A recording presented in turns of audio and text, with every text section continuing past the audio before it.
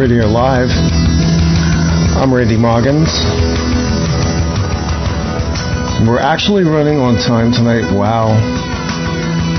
What a concept.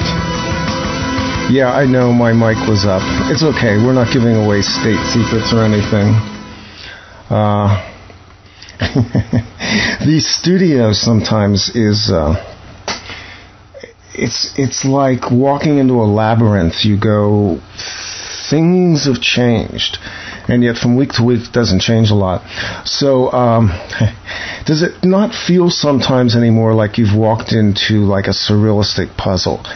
Where um, the edges of reality kind of bleed in. It's almost um, like an ayahuasca experience. Uh, well, not so much. Um, if you look at the world right now and you look at what's happening behind the scenes, not the news that they are piping to us, you realize that the edges have begun to fray around the system. And uh, they continue, keep trying to beat more uh, potential out of this Boston incident, and there's no there there. Um, the media, uh, with their um, staging and acting, cannot seem to get the American people to understand why we need to have police state, why we need to have martial law in our cities, and why we need drones in our skies. Did you know that in February, Barack Obama signed a law making it possible for police and fire departments to operate surveillance drones over U.S. skies? And under that same law, the likes of real estate agents and news organizations will soon be able to fly their own drones as well. Can I have a drone, please? Since I didn't get my jetpack, which I was promised in the 60s, um, now I want the drone. And what would I do with it? I don't know, but maybe we get to watch the Watchers. My guest tonight uh, is going to actually overlap some of the interesting things that we talked about last week with uh, Jane Swagger. She is. Uh, she is actually a practicing shaman. She has practiced for over 40 years. Um, Gwilda Wiyaka is a preceptor for the University of Colorado School of Medicine and she provides instruction to medical doctors on the modern interface between shamanism and allopathic medicine. She's the founder and director of Path Home Shamanic Art School, Colorado state certified occupational school that trains and certifies shamanic practitioners and instructors. Uh, so, what we're going to talk about tonight, first off, is going to be what happened on December 21st, 2012, and where we are now. And then we're going to kind of shift over. I want to talk about shamanism. I want to I want to get a little bit more background on the arts, the healing arts of shamanism. And with that, I introduce you to my guest, Gwilda Wiyaka. Welcome to Off Planet Radio Live. Thanks for having me, Randy. It's nice to be with you. Um, your book, you have a you have a book out right now called So we're still here. Now what? And um, that's what we're going to talk about the first hour, Gwilda, because we did a lot of shows last year on um, what we called the shift, um, the Mayan calendar, and it was all over the map. Uh, we talked to people who represented Hopi prophecies and uh, psychics and people who were kind of mapping this your title seems to indicate that some people thought we might not be here right now. Is that kind of the take that you took as well from the, the December 21st, 2012 um, syndrome? Yes, um, coming up to the date, and, and you know, years before, a lot of people were talking about the end of the Mayan calendar being the end of the world, and there were all sorts of, um, uh, you know, hypothesis out there. The sun was going to blow up, or who knows what, you know. Um, and uh, I um, was pretty fascinated by it and started studying the calendar itself some years back because I knew there was something more to it than it just coming to an end. And um, in the process of looking at it, I found out some really interesting things. I started writing this book long before the end of 2012, um, so it was really fun to be able to be here, and so we're still here. We can publish the book. it worked out rather well. Yes, it worked well for me. Yeah. Yes, three-dimensional reality is good sometimes. But the expectations were all over the place. Um, I had started studying the 2012 thing back probably around 2009, 2010, and commented on it in a, a, an older radio show that I did. And I honestly never expected a literal physical, I don't know what you would call it, removal from the earth. I remember interviewing Dr. Brooks Agnew, who had a very interesting hypothesis of what he called two earths, and that there would be a merger between worlds, which I thought was an intriguing um, idea. We also have the biblical aspect of it, which was um, largely the Christian expectation of, of a rapture. And so that to me kind of played into it as well because I began to see aspects of this 2012 thing as overlaying that. But most of the people that I talked to were expecting something less dramatic than that, but perhaps something more dramatic than what on the surface it seems we got. What really did happen on December 21st? Did anything happen, or are we being linear in our thinking and not recognizing that we're not dealing with an event, but that we're dealing with a process? Um, well, yes and yes. Something did happen for sure. Um, during this this time that we find ourselves right now, there's a whole bunch of things converging, and they're actual facts. One of which is the um, Mayan calendar is, has um, uh, 12, 21, 12 left the fourth world and entered into the fifth world. And that's a, the Mayan calendar is designed around, um, actually galactic information as to where we are relative to other heavenly bodies at any given time. Much like the horoscope, but much more advanced and much more um, in depth. And that's why it's such an accurate calendar and has been such an accurate portend of what energies are bringing out what, you know, support what behavior on the planet. And the fourth world was one of greed and exploitation and polarization with lower frequency time, which we are have been in. And the fifth world is one of unity and synergy. Um, so uh, that has, has started to take place, and that's why we're seeing the systems around us having a lot of problems. Because what we've done is we've got moved into a much higher frequency area, and here's how this looks. Um, the precession of equinoxes has brought the uh, north pole of the Earth point, pointing towards galactic center. At galactic center, matter is there's a black hole, and it's so dense. The gravity there is so dense, it pulls matter into it. Anything that gets close, but then matter is never created, nor is it destroyed. So it transforms it and spews it back out in gamma waves, uh, X-rays, all this stuff. So it, it can still be detected from the planet. So if it can be detected from the planet, it can you know have an effect on the planet. Now, the North Pole of our planet is where the electromagnetic field of the planet draws energies inwards and it pushes them back out at the South Pole. So wherever the North Pole of our planet is directed, it's really relating um, directly with the energy, and that would be the black hole right now. And at the same time, we're moving into the age of Aquarius, which is another high frequency area, which finds itself in the photon band, which is a high a band of high frequency particles that we tend to pass through. We do it um, in um, Leo, and then once again in the age of Aquarius. And the age of Leo, as we were leaving it, was the age of the myths and legends of the garden, and as we were leaving it, it was the fall. So all the biblical references, all the all the things that you were discussing, they all play in here, but we just didn't exactly read them correctly. That's interesting that the age of Leo encompassed the garden and then the fall. The ages, do they seem to have similar characteristics in terms of the historical parallels? Are uh, do we have a parallel Gwilda to the Aquarian age? Have we been here before as a planet, as a race? Yes, we go through this. Um, there's uh, 12 signs of the zodiac, and each of them last about um, 2,000 years. So we've moved through this photon band going into high frequency and then dropping down into low frequency. So the, the highest frequency is in Leo, and that would be the masculine high frequency, and in uh, Aquarius, which is the feminine high frequency. Then the lowest frequencies are what I call the long dark, and that's when our sun moves around into the eight, and it moves out of the photon band, and it moves into the age of um, Taurus, was the last one we were in. And then on the other side, that's a more masculine imbalance, I don't mean men, I just mean masculine. And then on the other side would be Scorpio, which is the most feminine imbalance. And Scorpio and Taurus are very polarized, where uh, Leo and um, Aquarius are very unified because of the high frequency.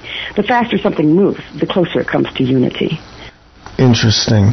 So, are we heading into a feminine age? Is Aquarius feminine? Aquarius and Leo are both balanced, but uh, okay. Aquarius tends to be a little more feminine and Leo a little more masculine.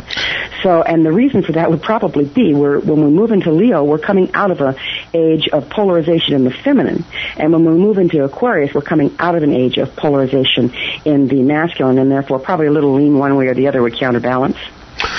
The reason I ask you that is because I've noticed a resurgence in interest in the sacred feminine. It's almost been a recurrent theme for about three years for me and other people that I interact with. And I wonder, based on what you just said, if that's not just mainly this, this pull away from the strong masculine aspect with the feminine beginning to balance. Is, is that kind of the dynamic that's going on?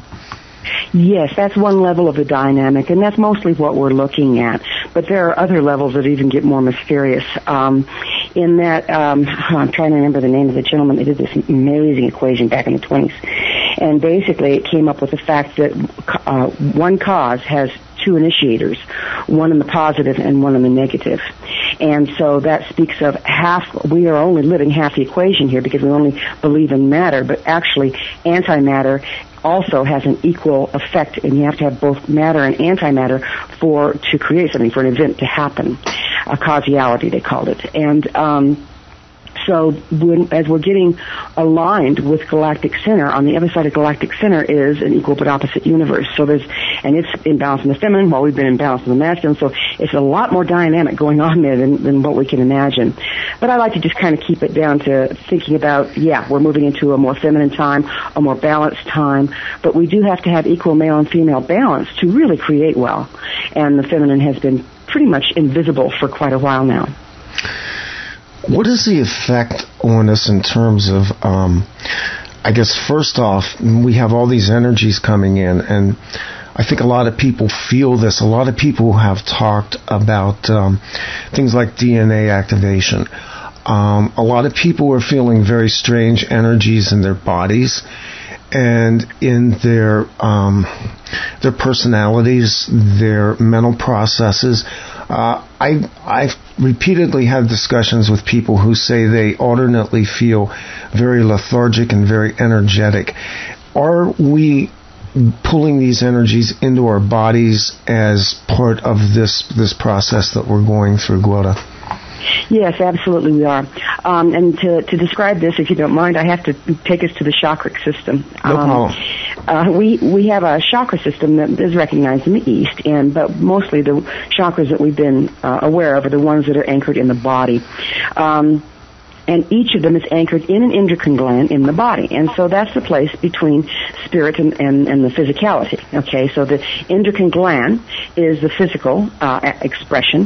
The hormone that it puts off starts a, a, a frequency. Okay, so it's a mechanical frequency, which pushes into electromagnetic frequency, which creates the chakra system. Each chakra itself is a toroidal field okay? Mm-hmm. And it has to run on balanced light, masculine and feminine. So if you think of the way a toroidal field works or the way even electricity is generated, is you have to have equal measure, positive, negative, rotating around a neutral pole, a neutral center. And that, that creates, builds electricity, it builds power. So well, that's our chakra system. Now, why do we have this chakra system? Well, it's the chakra system of the human being that interacts with the quantum level. So that's how our intent is made manifest. When we moved into the long dark, we were reduced down to only the chakra systems in our body because everything became very polarized, very low frequency, very slow moving. And so that's why we think we only have seven. But actually, our chakra system goes above and below the body into infinity. The ones below the body filter in antimatter light or the feminine light. The ones above the body filter in the masculine light or matter light. Okay? Positive, negative. However, because that light hasn't been coming in, a lot of our DNA has gone to sleep, and they call it junk DNA. Well, it's not junk DNA. It's just not activated because it doesn't have the frequency required to activate it. As this light becomes available, pressure starts to build on these closed chakras. And anything that's closed, like a room that's not used, gets full of junk, unexpressed emotion, trauma, generations worth, okay? And so It's not like voila, the frequency raises and we all evolve. No, we have to process out the conditioning that we've lived in, the damage that we've sustained for generations in order to open up these chakras. And furthermore, we think of only higher and higher, but if we don't open them up equally above and below the body, we have imbalanced light coming in to our systems. So this is the pressure everybody is feeling. Does this explain um, the surfacing of trauma, the surfacing of past hurts and things like that. Now, what I what I would call loosely soul wounding and things like that, because it seems like that's a recurrent. That's actually been a recurrent theme on this show, as well as a recurrent theme around a lot of people that I've been acquainted with. Yes, that's exactly what's happening. It's like all this increased light is stirring those places that have been wounded and asleep and shut down and just between you and me and the listeners, uh, there's been some very intentional and systematic damage and wounding to keep our frequency low enough to keep us subject to the system. And that's gone on for generations. And that's also impinged the DNA because it, if it's not activated, it can't be passed down very well from parent to child. And so now we have the opportunity of reversing that process, but it's a matter of choice we can either cooperate with the process, work with the healing we need, do the things we need to do to, to support our frequency on all four levels, physical, mental, emotional, spiritual, or just stand here and get the change shaken out of our pockets because the earth's going to do what she's going to do. Yeah. Um, w- when you say ac- we're talking about accumulated trauma, and you're talking about generational, is that correct? I'm talking about individual and generational. Okay. Okay. Yeah. Yeah, so a lot of what we're dealing with, and you also you you added something there. A lot of this has actually been, I guess, piped out to us. In other words, there's been a concerted effort to keep us dumbed down. Is that a fair way of putting it? It absolutely is. I love to quote Einstein, and I'll probably misquote him, but bear with me. Um, energy is matter, and that's all there is to it. Match the frequency of the reality you want, and you can't help but get that reality. There can be no other way. This isn't philosophy. This is physics.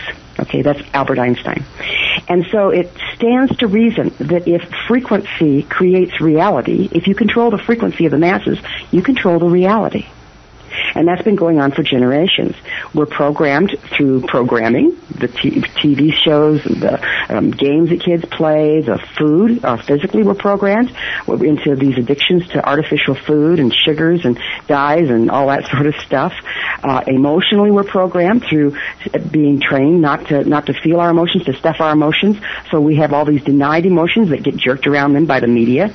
So yeah, it's been a very concerted effort to keep the frequency of the masses below a particular level so that they remain subject to the system rather than empowered. So we're dealing with that, that media thing. We're dealing with what, what we call mass mind control, trauma on a mass scale, which was kind of where I was going in my little rant at the beginning of the show. This idea that we're continuously being barraged with all kinds of negativity, and you brought something interesting into it with the Einstein quotation, because basically where I think we're going here goes into this concept of co-creation, of creation as beings of, of our, our own, our own lives and our own, quote, reality. Exactly, and that's the opportunity we have here. But in order to do it, you know, there's a lot of really great texts out there about, you know, the power of now and, and co-creation and uh, the power of attraction. Okay, mm-hmm. so why isn't it working? Well, it's not working because we don't have the power. We have to deprogram ourselves, raise our frequency on all four levels in order to step out of the frequency control by the system. When we can do that, we have a better effect at the quantum level. We've been slowed down so much frequency-wise that we don't really have any conscious connection with the quantum level. And that's what I believe shamanism is about, is an organized set of rituals designed to help the practitioner focus their ability to manage matter at the quantum level. But we have to have enough frequency on board to be able to do that. And enough consciousness on board. Every place we've been wounded, every place we have soul damage, and I don't, we don't damage our soul, but basically we disconnect from our natural expression, our frequency is compromised, and then that part is put into unconsciousness. So we are creating, but mostly unconsciously. Exactly. And I remember because I'm, i am a student of the law of attraction, and I know a lot of people got very excited about this. Um, the movie The Secret came out. This was mm-hmm. this was like a really big deal. But most of what happened was that people went back to their lives very frustrated and discouraged because they couldn't manifest. And you talked about the four levels. Again, tell us tell us those four levels. Right, and they they all interface. We, they, uh, but basically, we're looking at the physical, the emotional, the mental, and the spiritual. And they all operate at a different frequency, and every person's operates at a different frequency based on their natural ability and their wounding. Um, but the uh, physical vibrates at the slowest. The next is the emotional. Then is the mental, and the highest frequency that we have is, is our spiritual. And then, of course, it goes out and beyond. But although they vibrate at different frequencies, they are all in harmony with one another, one another in, in, in, a, in a perfect world. Mm-hmm, okay, mm-hmm, mm-hmm. so when we when we take damage on one level or the other, then all of a sudden it, there's disharmony that goes on.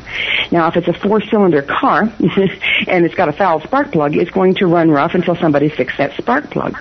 But because we're an organism, we will maintain homeostasis.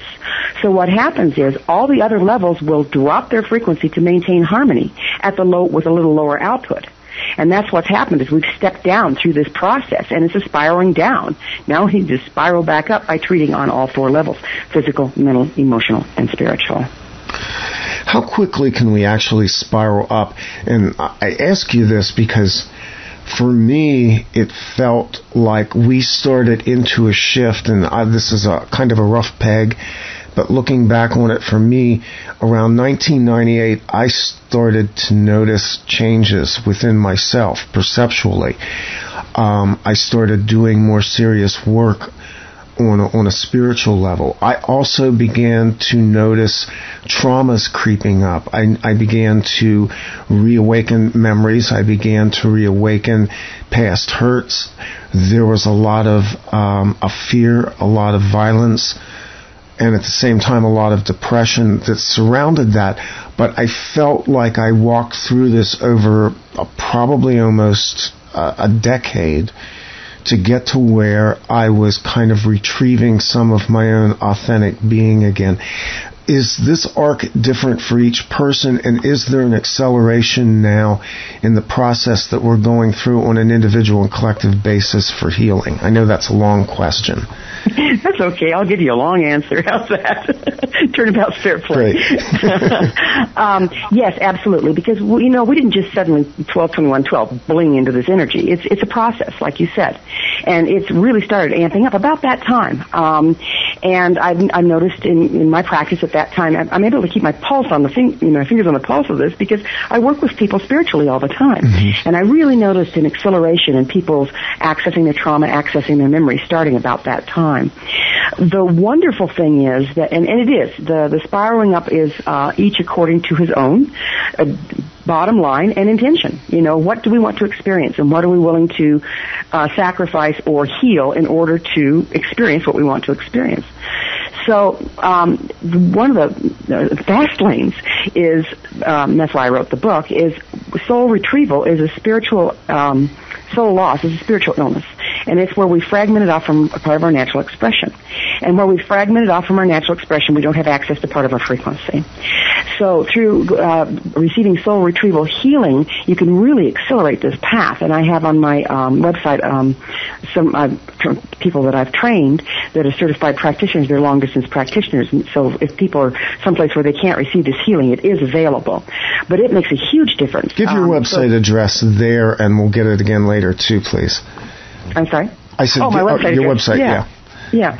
So there's two of them. The one I'm talking about right now is the school. It's Path Home Shamanic Arts School. And uh, it's a state certified occupational school of shamanic arts. And the website for it is findyourpathhome.com. And on that front page, you'll find a link to either classes or practitioners or whatever you want there. And then my personal website is gwilda G-W-I-L-D-A W-I-Y-A-K-A dot com. And those those links are already on the page, the guest page at offplanetradio.net. They will also be posted with this audio in the archives, so you'll be able to access that as well. Uh, now that I derailed you. no worries. I can still remember where I was. Good, good, good. so, w- what's happening now is we're we're really um, accelerating, continuing to accelerate. Um, it didn't just hit a peak at 12, 21, 12. That's when we shifted, officially shifted from the fourth world into the fifth.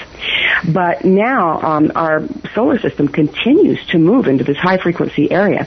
And there's a, a German scientist, I wish I could remember his name right now, but he has this beautiful article out about how all the planets are heating and the um, um, uh, electromagnetic field that the sun has all around all around our solar system is heating and you know affecting the sun. It's then affecting the planets, and there's pole shifts on all the planets out there, and atmospheric changes, and atmospheres building where there haven't been atmospheres. So it's pretty fascinating stuff going on within our solar system, and all this is affecting us, and it continues to affect us. And I suspect in about 75 years to 100 years, we will have shifted completely into, I don't think we'll really even recognize our potential at that point. But we have to personally participate with it. So here's what it looks like to me. The planet is, a, is under a great deal of pressure. At the same time, the people on the planet are restricted to a particular frequency because of the systematic damage. There starts to be more pressure on that restriction we need to start working from the inside to raise the frequency on the planet with the people to match the frequency that's coming out from the outside of the planet. Oh, sorry, I had a call come in, and I was. Um, if somebody in the if you if you're on the uh, stream right now and you're trying to call in, please hold off, and uh, I'll I'll bring you in later. Okay, we can't take calls right now. You still there, Gwilda? I'm still here. Okay. Um, so on an individual level, we're really managing something that's pretty spectacular um, in terms of uh, our energies and in terms of uh, balancing ourselves. How do you approach um, on an individual level with somebody what they're going through? Is this and I know we're going to go into shamanism more on the next part of the show, but I guess we go here. The approach that, that the shamanistic uh, aspects take on, how do you how do you lead somebody into a place? How do they get to that place where they recognize what they need? And then how do you identify what it is that they're going to go through in terms of the practice itself? This, this, does that make sense as a question? It, it does, um, and I'll have to back up a little bit to give you the answer. Um, you know, you know, there's shamanism at the base of all of our cultures. Right. It's, it's not okay. So it's an ancient, ancient, probably forty or fifty thousand years old, um, well before the age of Leo. It's been around. And when we are in the ages of Leo and Aquarius, it becomes, it, can, it has the opportunity to become what I call galactic shamanism, is in that it can go interstellar as well okay. as be earth-based. But when we're looking just at the earth-based on the healing level, there's this thing that everyone uses, uh, the, all the shamanic practices have in common, and that's known as the shamanic journey trance.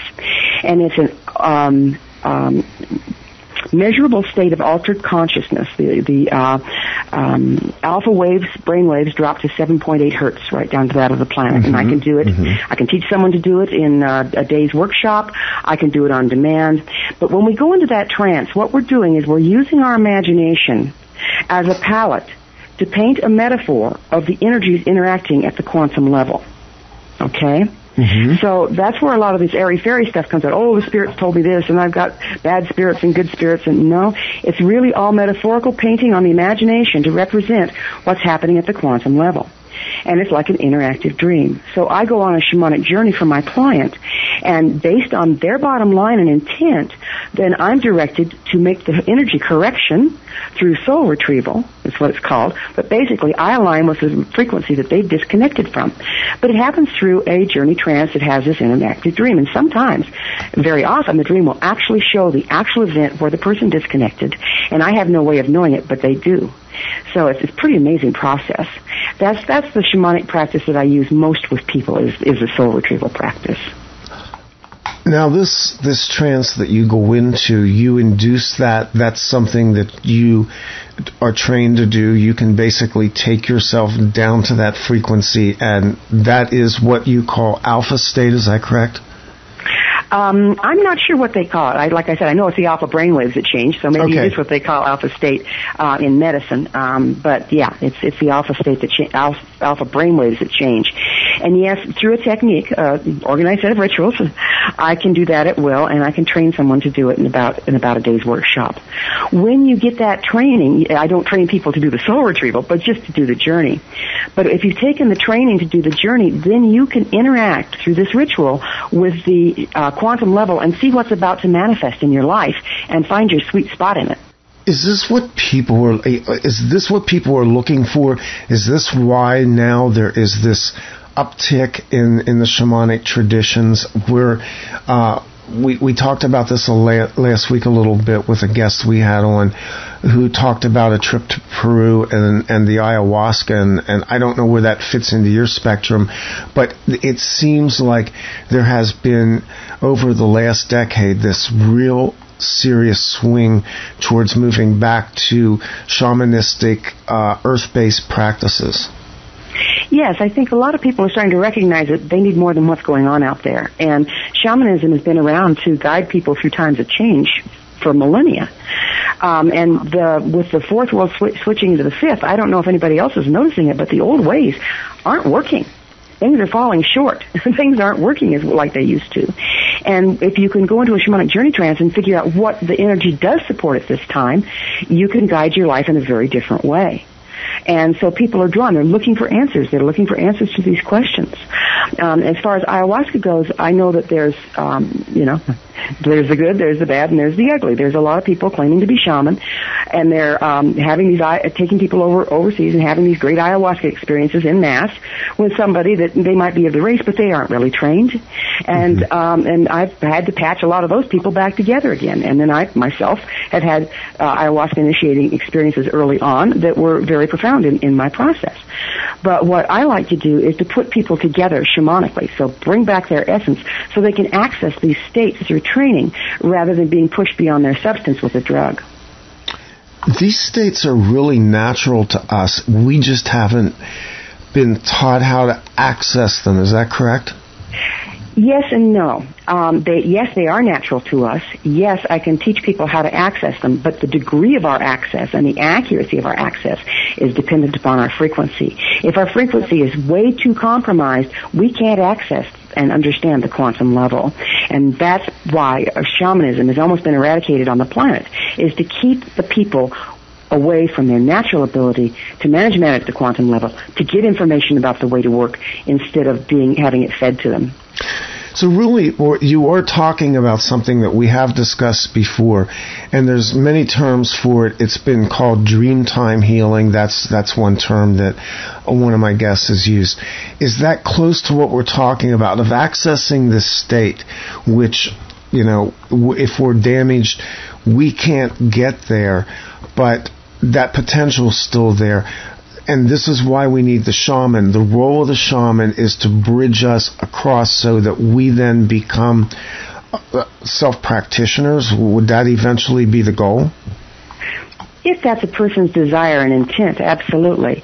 Um, some people just want, fix it please, make my life work again, okay? Other people, once they start accessing, they want to explore further and further and further and become very self-actuated. So everybody has their own sweet spot within it.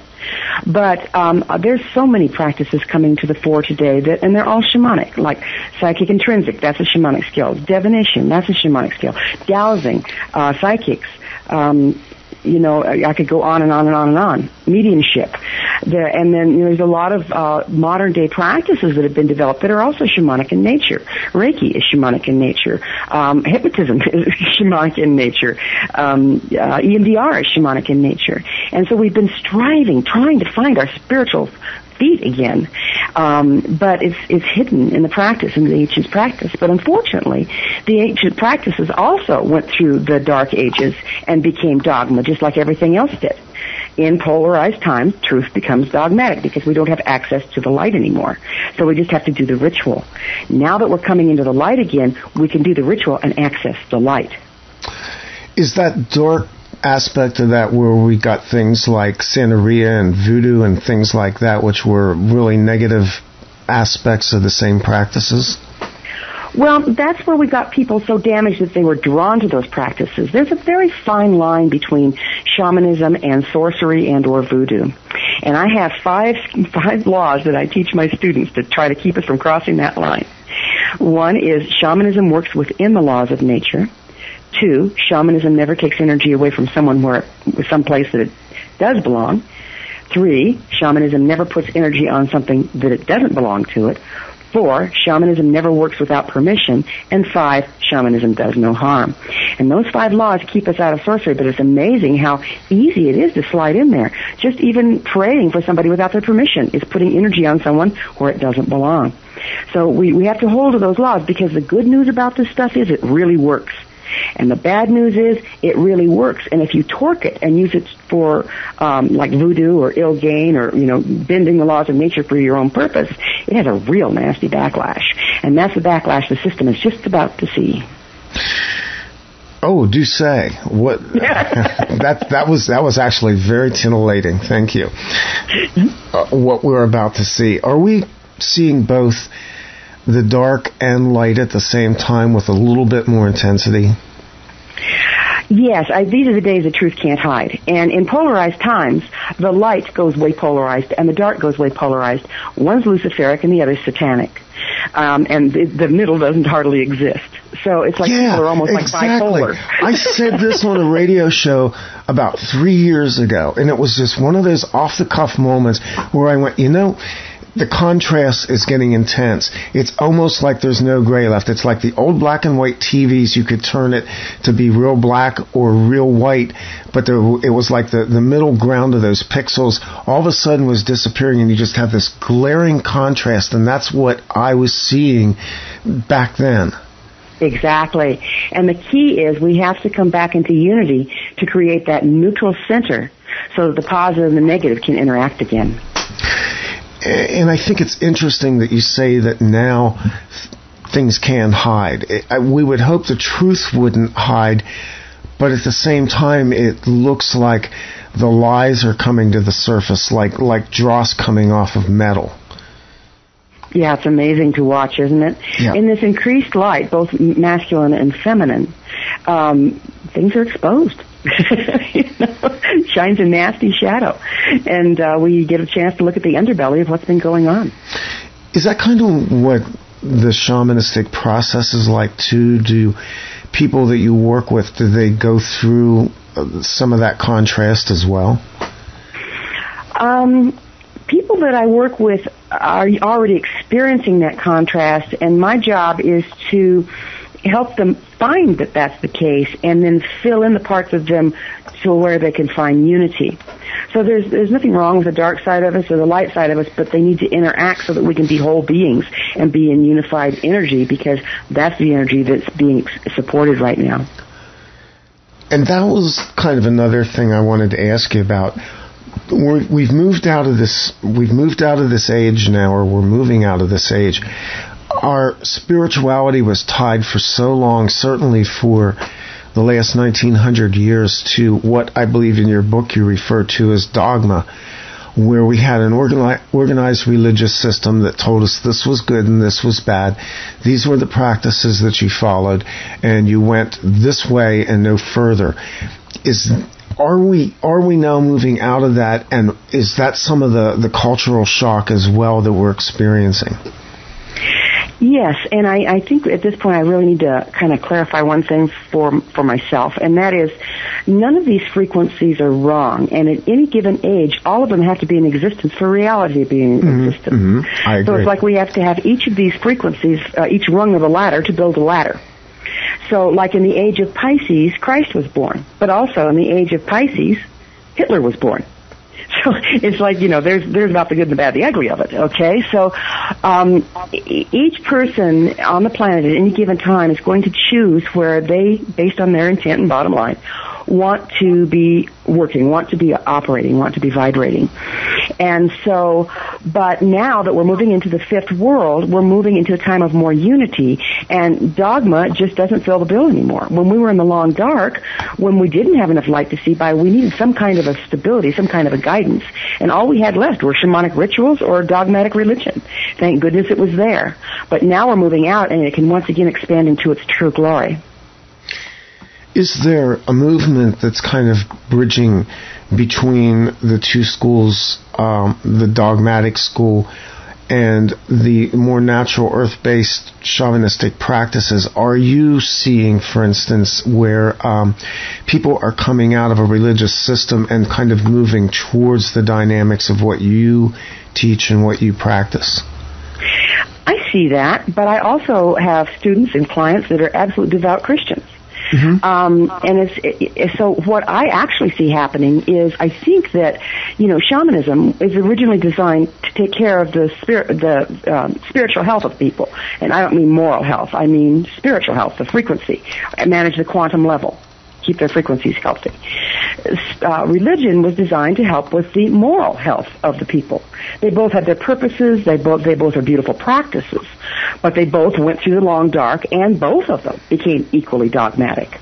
So now what I see happening is not only is shamanism has the opportunity to move back into galactic shamanism, and, and religion has the opportunity to move back into spirituality, um, but also they have the the opportunity to merge, just like I see shamanism and science merging.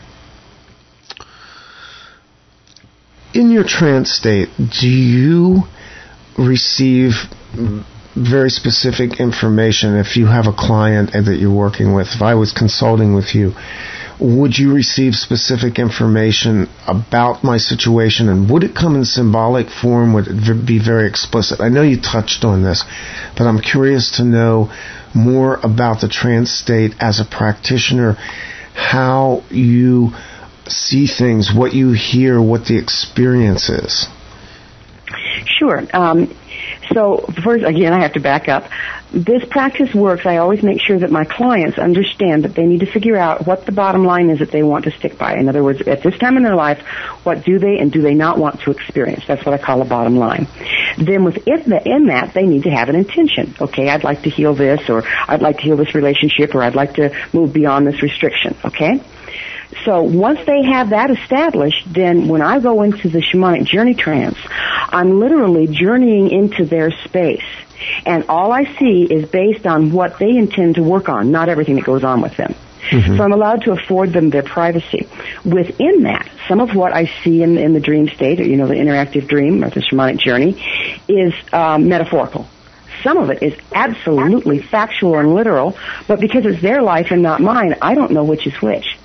So one time I saw I was journeying for a lady, and I saw a little girl sitting in the driveway, pounding over and over and over on this pound a peg board, and it was clearly a homemade one. And I described it right down to the colors and everything about it.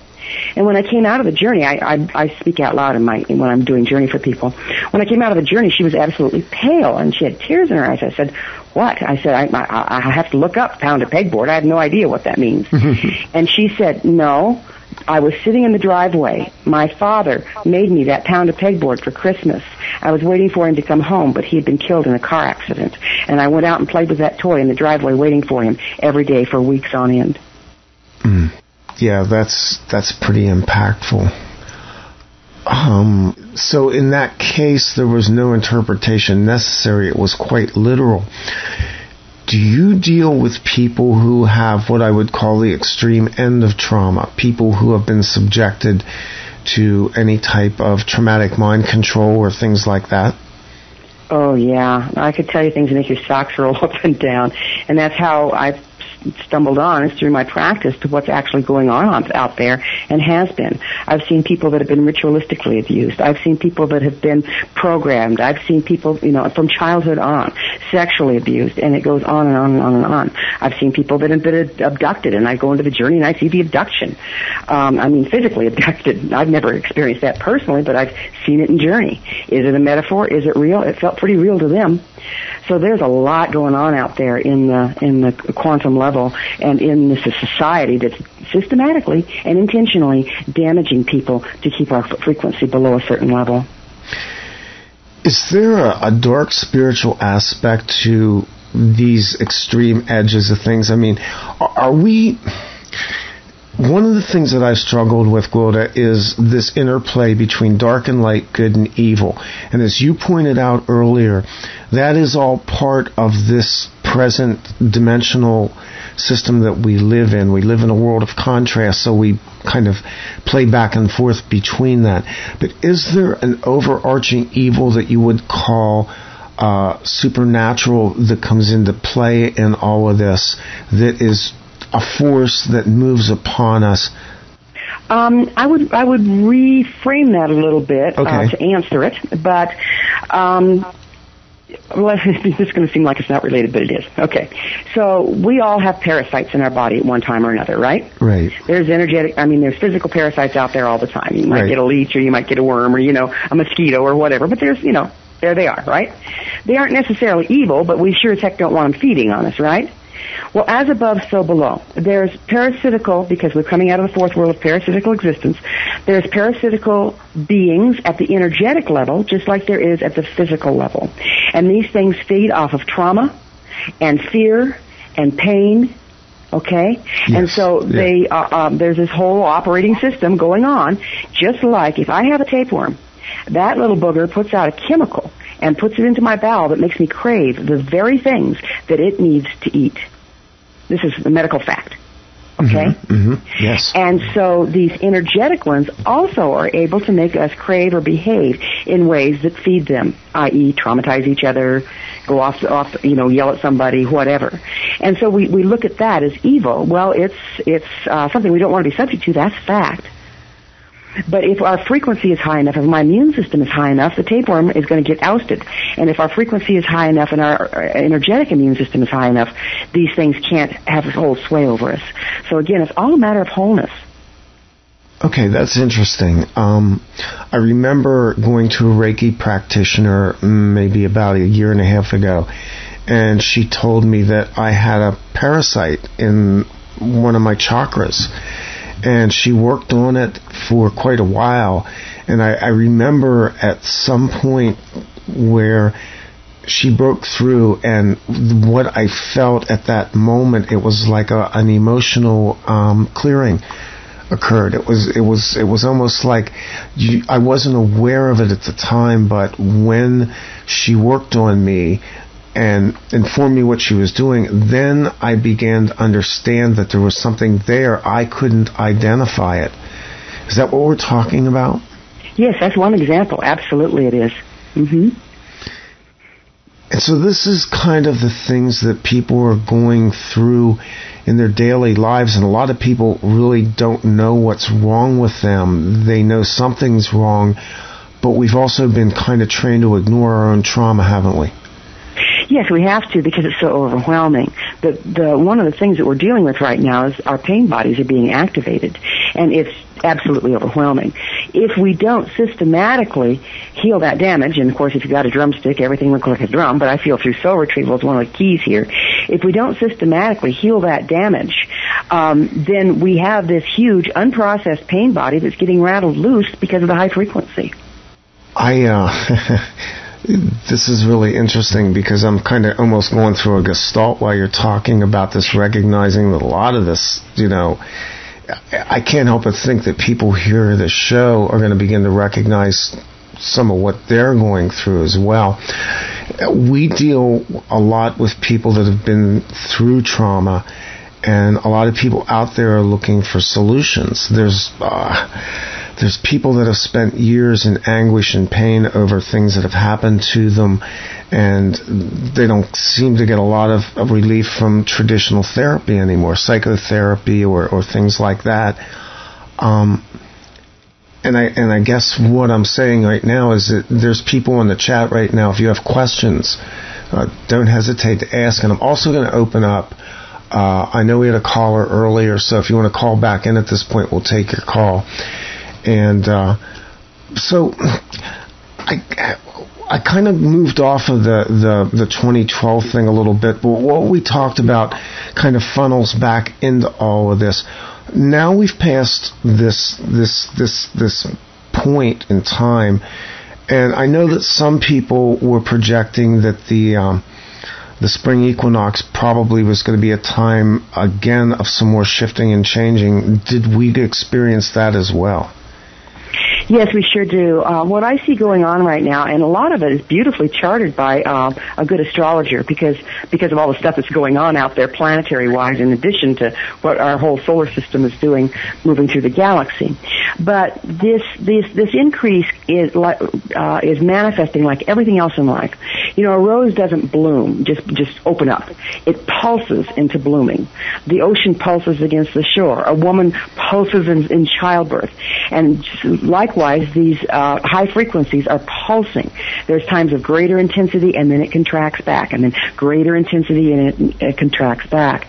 And so, uh, riding the currents is key here, but it's not the way we ever learn to do it. That's why it's so important to be able to read nature, to become more earth-based, to get a shamanic skill or have someone around you that has one so that you can read what's being supported and what's absolutely not if we are are in the shift collectively, is, do the same dynamics apply as a planet? Uh, we have a whole planet, you know, supposedly six billion people that are going through this, and people are all on different scales. Does your practice or the practices of other shaman type people support something that's going to ripple out into the general population? We talk about the shift we're talking about something that's going on globally. How does this impact the planet and the populace? Oh, that's a good one. Uh, for that, we're going to talk about sound, okay? if you're in a yes, sound you're chamber, a musician, right? Uh, well, yes, I am. Actually, yeah, I am. Um, if if you're in a sound chamber and you sound because sound is just another another frequency or vibration. So you're in a sound chamber and you sound a note, and it has uh, a particular wavelength.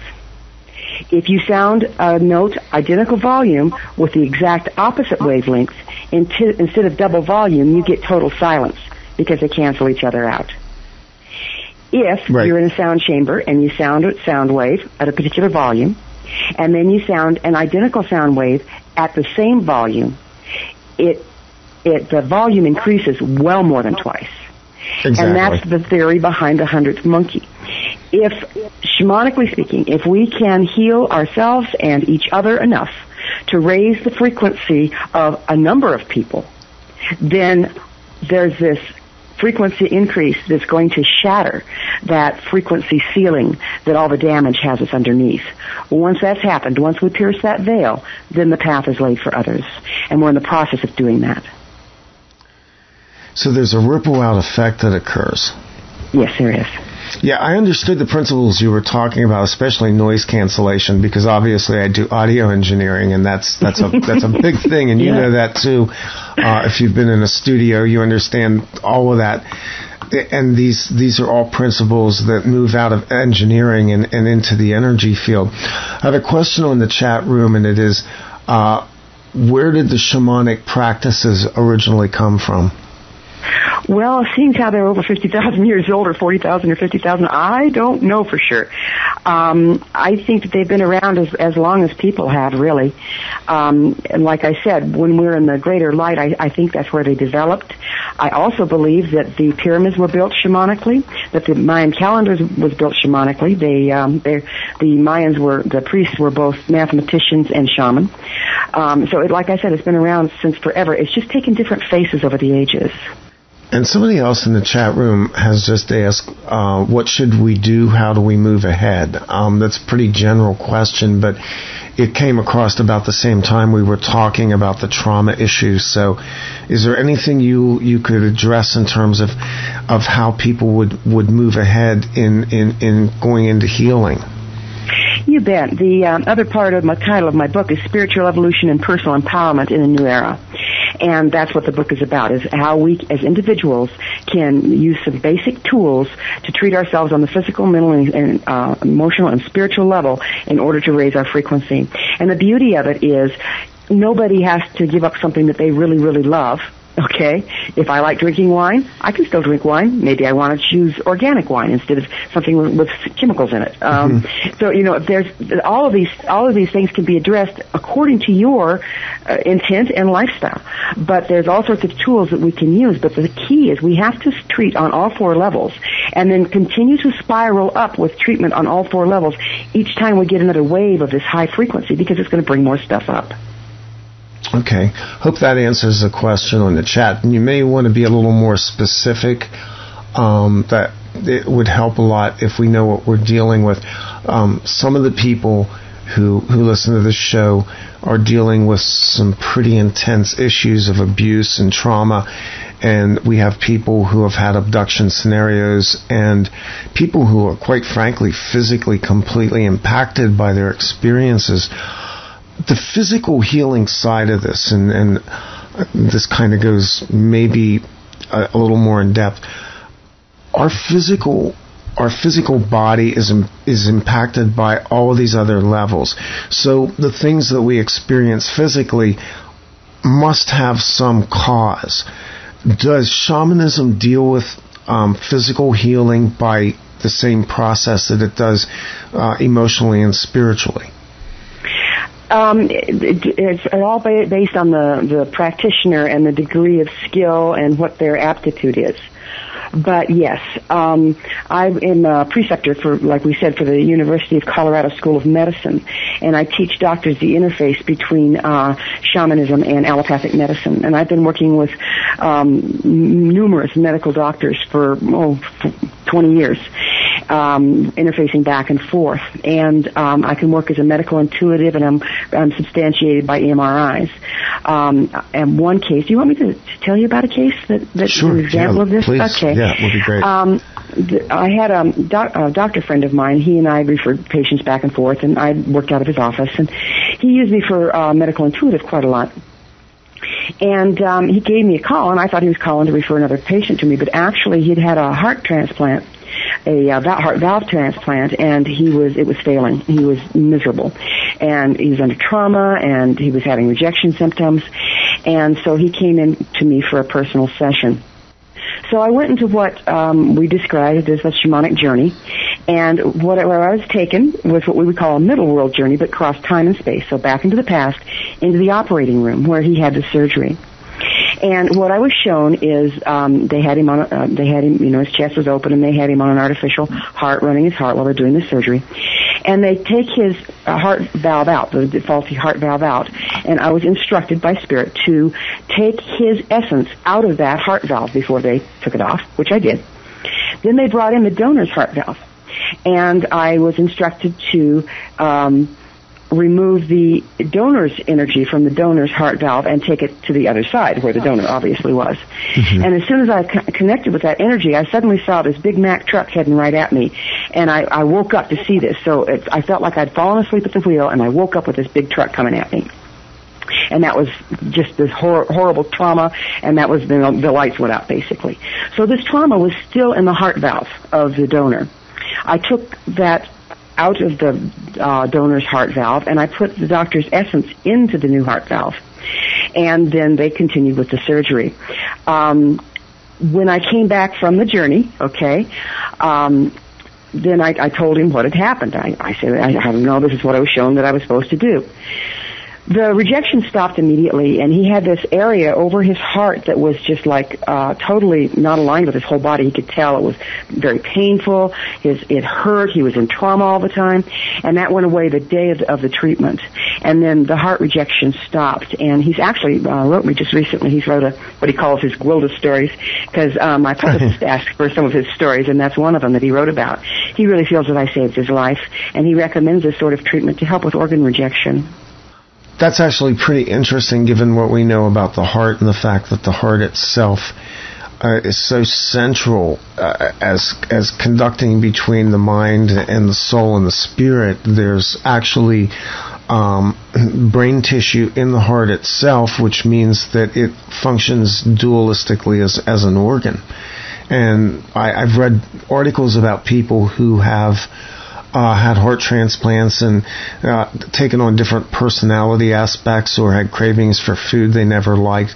It, it sounds like um, a lot of times when they do these operations, that aspect of it isn't really present in medicine, and so you kind of you're kind of providing that spiritual interface in this particular kind of procedure, aren't you?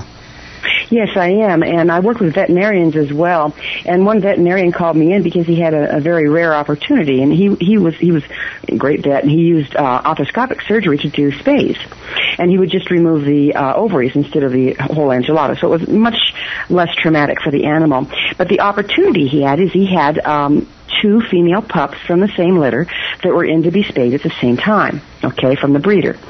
And so he had me come in and he um, let me work with with one, but not with the other. So that way he had what do you call that a, a blind study, if you will, mm-hmm. you know. Mm-hmm. And so the um, when he there's a medication they give the animals before before they give them the general that calms them down, but they always get sick to their stomach on it. And he told me as much, and I said, well, may I, may I work with the medicines? And he had them all laid out on a tray. So I put one hand on the dog, and I put my hand over the medicines, and I attuned the medicines frequency-wise so that they would do what they needed to do for the dog, but still be in balance, as much balance as possible with the dog. He gave that dog the first injection, and she got all woozy and staggered around, but she never vomited. Then when they gave her the general, um, she, you know, and operated on her. I was in the operating room. And when they removed her ovary, I pulled her energy out of the ovary and put it back into her body. And when they stitched her back up, I pulled the trauma out of the tissues and uh, returned the original frequency of her tissues. Um, then, um, when the other dog was done with her surgery, um, he did both of them. The first dog came out, and you know, dogs usually yipe and ki and swim, they call it, when they're coming out of anesthetic. Uh, she simply stood up, shook her head, and was fine. And the other one was crying and, and churning, and like they normally do. The healing process is what was particularly amazing. The first dog, the one that I was able to aid, healed three times as fast as her sister. Mm, interesting. Wow. So this works with uh, with the beasts of our planet as well. Yes, it does. Amazing. Yeah. We're gonna we're gonna take a break at this point. Uh, play some music.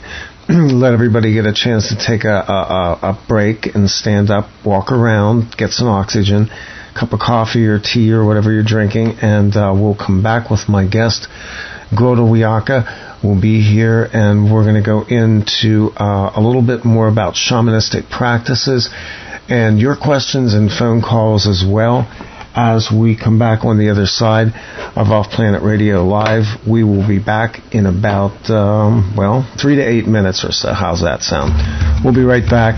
I'm Randy Maugans.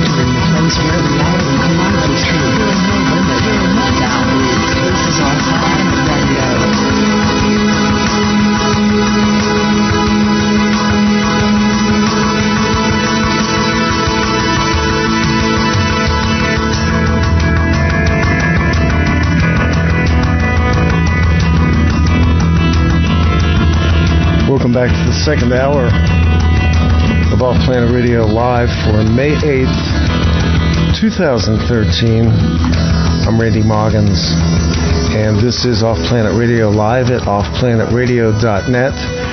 The home website is offplanetradio.com, and uh, we are working to consolidate things on a on another level. Uh, with websites and things like that, there's been a lot of problems, but at the same time, things are still kind of functioning. So, um, yeah, that's going to happen in a few months as well. What's going to happen next week is going to be fun. Um, Chris Hawley will be joining me as co-host, and I need I want to welcome Chris for um, basically coming on board. Uh, it's kind of been a hope of mine for a long time to have other people involved with this, and uh, the chemistry's good. And Chris brings to the table perspectives and uh, an energy that's uniquely hers.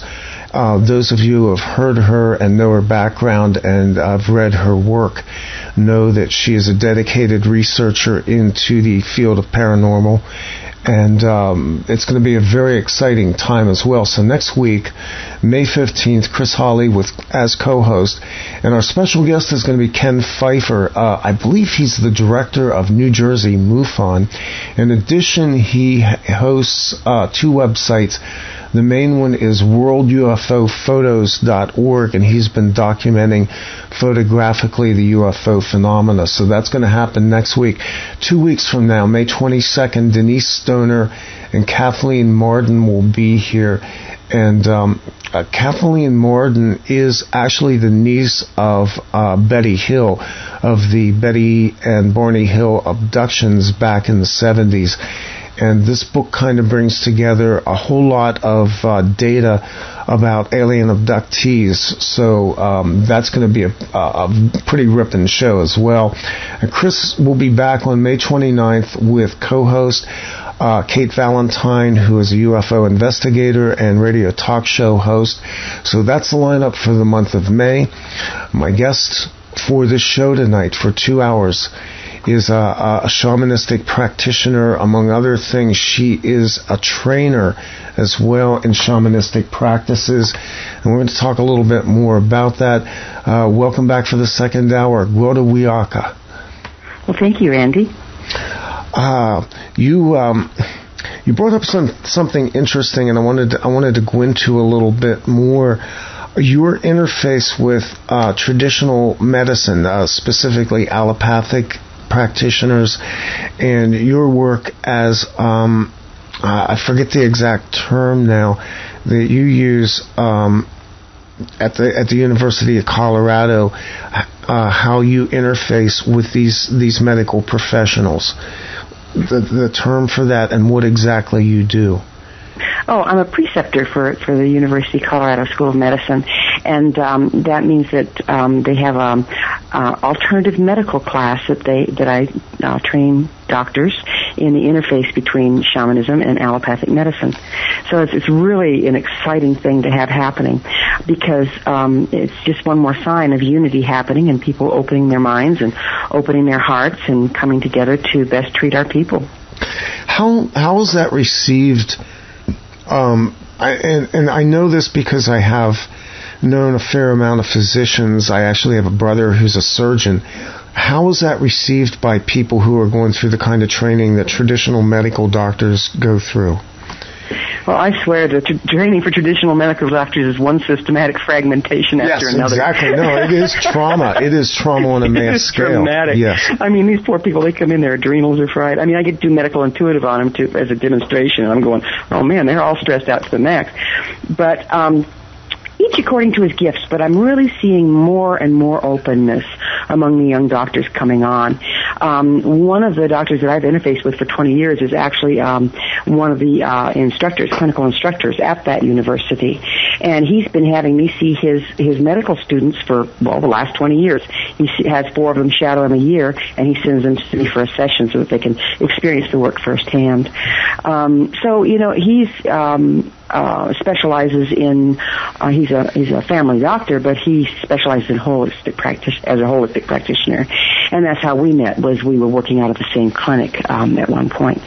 So I, you know, I'm kind of in the mecca for that because I'm only, you know, an hour out of Boulder, less than an hour out of Boulder, Colorado. Oh, really? So, oh, cool. Yeah, so yeah. I'm kind of in the mecca for holistic. But if it's starting here, is again that hundreds monkey thing, that that frequency, um, it's going to expand. And just, you know, the problem with any medicine is if it if it's left to treat everything we need to come together so that we can support all four levels of our being equally. The reason shamanism seems to seem so magical to people is, you know, we've really worked hard on the physical level. We've really worked hard on the mental level. We've really worked hard on the emotional level. And then we're feeling out because we haven't treated the spiritual level or the interact, uh, quantum interaction with things. And if we start getting that piece in there, all the others can then start to move again and the whole process can evolve to better health for everyone. Do you interface at all with um, uh, psychological professionals, psychiatrists, psychologists, and therapists, people like that? You bet, you bet. In fact, I had a psychiatrist who graduated from my school. Um, so, and I've had engineers graduate from my school. It's a two-year program. It's quite expensive. So yes, I do. And um, sometimes people will come to me. You have to have a certain amount of um, stability to process this kind of trauma. And sometimes people will come to me and they really need to be stabilized emotionally before they can engage in shamanic healing. And so we interface back and forth. And then the, the therapist, sometimes there's clients will get stuck in therapy and they know that that means, well, we need to access another frequency for them so they can process out at another level. I, I find this really exciting, and when I read your bio, I went, I wasn't aware, and obviously this is not across the board yet, but I wasn't aware that there was an interface going on between, I guess, what we would call uh, the old old ways and modern medicine. But it, it makes a lot of sense. We're, if you look at our healthcare system now, and I, I don't see it getting better as a result of uh, of the healthcare system that you know the reform that's going on. It's a mess, and we've treated everything the same way.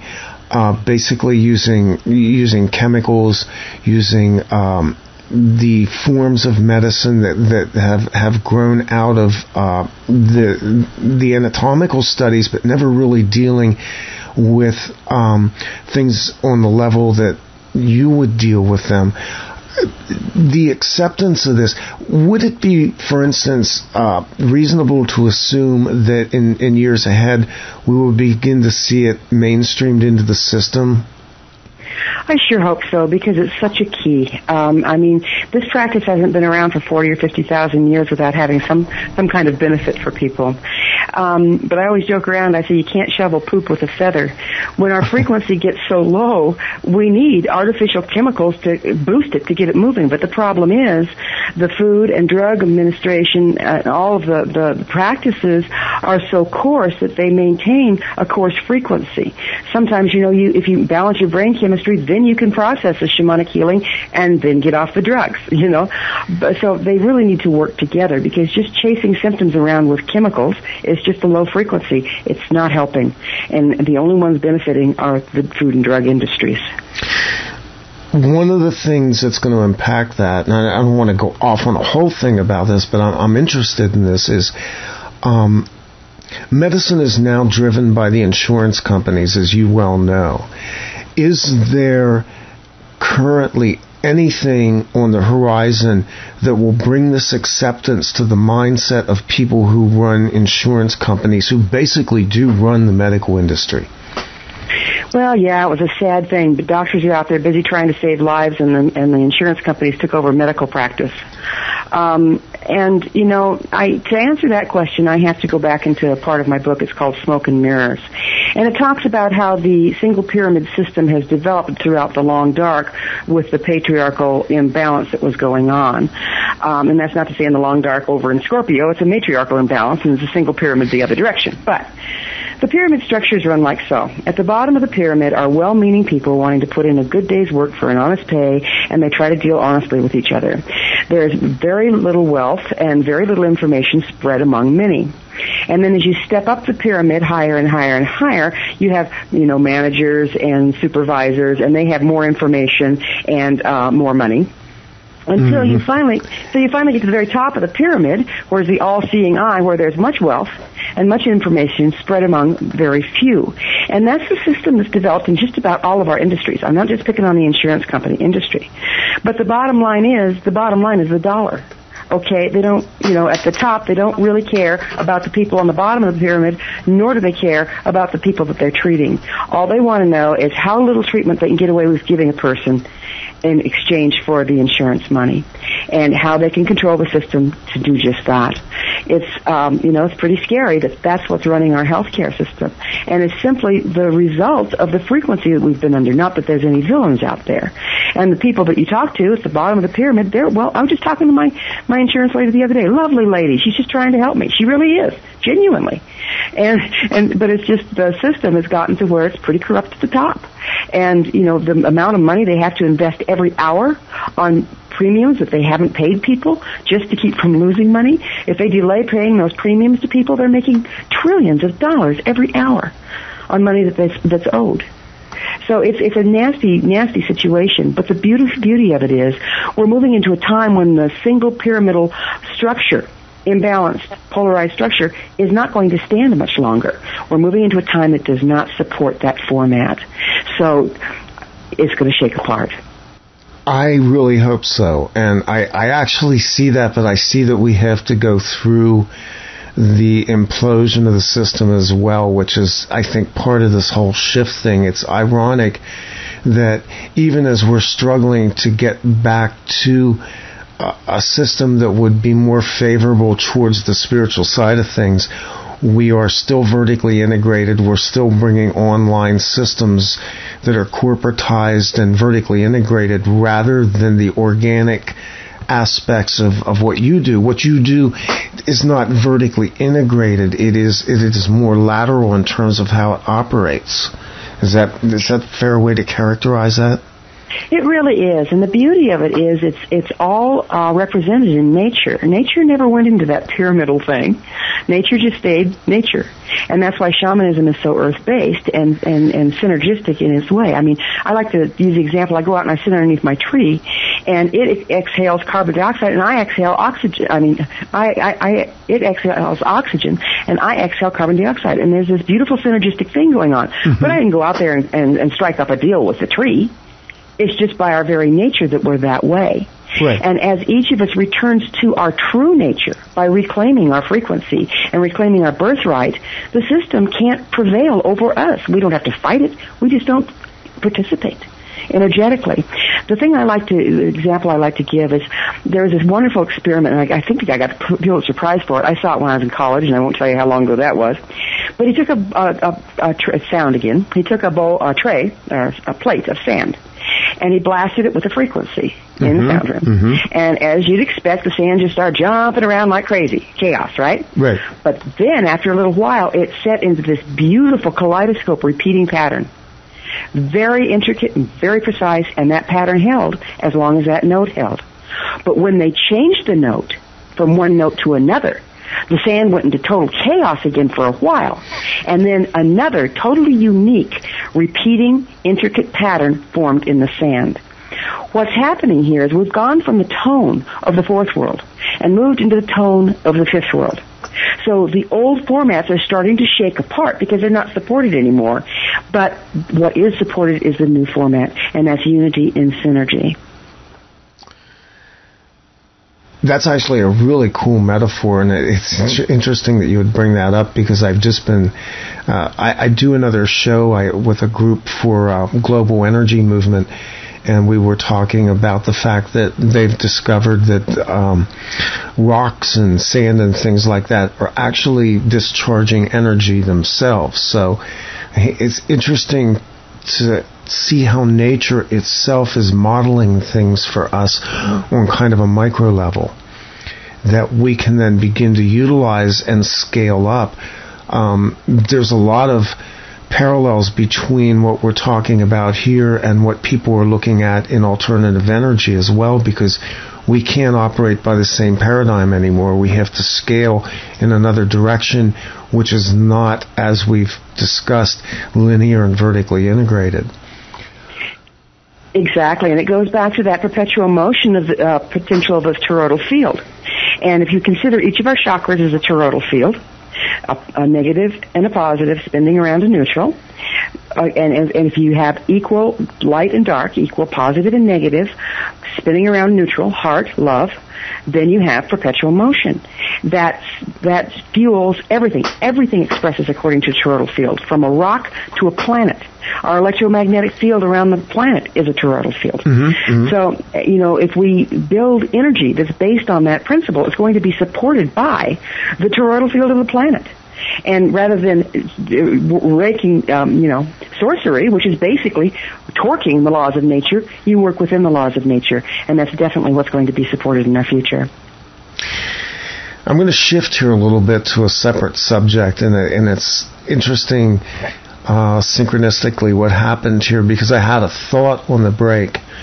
I pulled up a quote from your book, and then somebody in the chat room posted something that was kind of lined right up with this. So and to read this quote from your book. It says, I am a shadow walker by nature, Scorpio by sign, woman by gender, and shaman by trade. Death and life are my business. Um, one of the things that I was thinking about, and I don't know why my brain just goes in these places, has to do with shamanism and dealing with death. The question in the chat room basically said this It's wild to think if we went down that road, we would eventually be learning to traverse death, right? And that would be the Egyptian science, sciences they did over 3,000 years. Makes me wonder who is actually more advanced, us or them. I want to bring it back to this idea of traversing death and how shamanistic practices themselves come into focus for people who are preparing to transition? Oh, that's that's a beautiful subject, um, and will remind me to dance with the Egyptian piece and all that in a little bit. But let's just go right into what we call psychopomp work. Um, I've done it for hospice. I did it for my mother. I've done it for various ones, and it's one of the, the skills that I train at the higher levels in the mm-hmm. school. And psychopomp is basically helping the dead to cross. Um, and um, what death is, this is this, there's a lot more to it than this, but there's a frequency below uh, which we cannot maintain physical health, and there's a frequency above which we cannot maintain a physical body. And so when the body drops to a place below which, for whatever reason, injury, trauma, age, um, that we can no longer maintain the frequency to hold physical health, and it starts to drop below a frequency that can t- contain our our spirit or our um, spectrum of frequency that is who we are at this at this divination. Then we start to leave the body, and when we leave the body, some of our energy has been fueling the body. So we start climbing back up through these frequencies that we have systematically fragmented off from throughout our lifetime. And that's why you have the phenomenon of a life, per, person's life passing before their eyes when they get ready to die. But as a shamanic practitioner, my job as a psychopomp is to help the person find the frequency of unity on the other side, basically. Mm-hmm. And because we have been systematically fragmented as human beings so for so long, a lot of people without that help cannot find the way to the frequency of unity and get stuck here in the bardo or in what they the Catholics might call purgatory. Mm-hmm, mm-hmm. And so there's a lot of disembodied spirits that are out there in still within our frequency ceiling that are being fed on and tortured all the time. Yes, and they're yes. parts of people that are actually alive. so another part of the psychopomp in, in the in the future is to help that spirit gather all of its parts that it can, raise its frequency on the way out, and then help it to cross to unity. I've uh, I've experienced this personally on two different levels, and one of them was the death of my own mother. And in that particular case, um, there was there was closure, there was resolution, and as she passed, and after the time she passed, we actually communicated with each other, and it was really quite one of the most amazing moments of my life because shortly after she passed, it was in January here.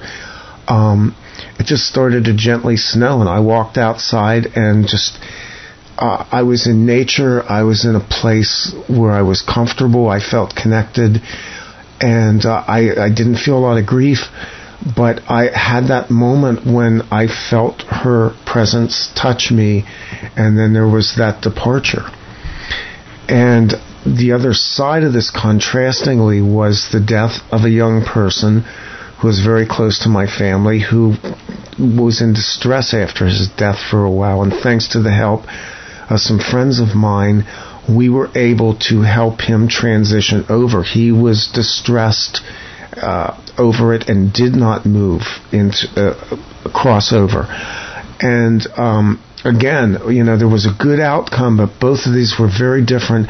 But they presented, I guess, the context for the question that I asked you because as a culture, we don't really deal with death gracefully. We have, again, a system for dealing with this. And while many cultures do have a way of celebrating life and death, in general, in our culture, death is viewed as a negative, and it is something that I, think under the surface most people don't want to deal with it. Well, exactly, because we're taught to fear it because we have been so fragmented we can't access the spiritual realm.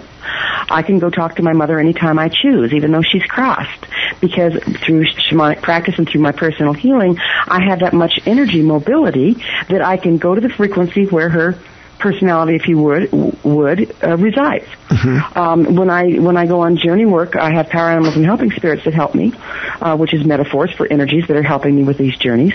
But also, my dog that's already crossed shows up to help. So it's like we are a community of frequency, and we've differentiated to become incarnate. But to fear going back to that unity, we can dance wherever we want to. I really see a day when, when we can drop our robes here, if you will, transport our consciousness through the X points created. Uh, I'll tell you about X points if you're interested, if you haven't already I'm heard. I'm very interested in this, yes. Uh huh, you're going to love this. And then gather up our consciousness on another planet and gather the minerals and things around us to recreate our bodies. This is what bilocation is built about. There's myths and legends about this all the time. And so now that we're coming into a time of higher frequency, that's when galactic shamanism is becoming available. So not only am I an earth-based practice. I was going to ask you to explain this. Thank you. So go ahead uh-huh. and go there because this is very interesting to me. Okay, great. So shamanism is an, is, is an earth-based practice, but the earth is in space, and you know there's a lot going on here, and as above, so below. So one of the things that my practice is spread out into is working galactically. In that, for a while I, I would be called to to go visit with some beings, and I didn't know who or what they were, but they were, you know, they met me in middle world, I mean lower world, so I knew that they were on the uppity up. They were good ones. They were evolved ones and they had some intel and some help, and we were exchanging information. And every time I go to them, uh, it was the strangest thing in my journey. I thought was a metaphor. I would cross through these X's and go to our sun, and then from the sun I would cross through more X's and go to galactic center, and then from there I'd cross through some more X's and go to another sun, and cross through some more X's and go to a planet and commune with the beings there. Well, I just thought this was all metaphor to get information to me, right? Because we talked about how the shamanic uh, journey is metaphoric to get information. Mm-hmm. Then I saw this film from NASA that talked about X points. And it says, okay, there's the electromagnetic field of the Earth, and it's a toroidal field around the Earth. There's electromagnetic field of the Sun, toroidal field around the Sun around around our gal- our um, solar system. When those two electromagnetic fields cross, they create what they were calling X points. But dig this, those X points are actually wormholes. Mm. And NASA that, has all these little probes out there trying to figure out how to take, make use of those wormholes because they shorten the distance between, you know, they, they warp time and space. Yes, yes. This is exactly so, how I go. Go ahead, go for it. This is beautiful. So, so, fun. So galactic shamanism is the projection. If you have enough frequency and enough um, uh, mastery of the practice, is you can not only work with the earth-based spirits, but you can project your awareness through your intent through X points. You don't have to know which ones they are because your intent drives it to commune with beings on other worlds. I'm thinking that these X points are also toroidal fields, are they? Yes, they do. They create toroidal fields. That would have been my expectation. That would be the wormhole. yes, exactly. Yeah. Yeah. This is interesting because it crosses over into a lot of the research that uh, we've done on extraterrestrial life, the um, I guess what you, what, what you would call the investigation in ETs and life on other planets, and what's going on outside of uh, our own world right now.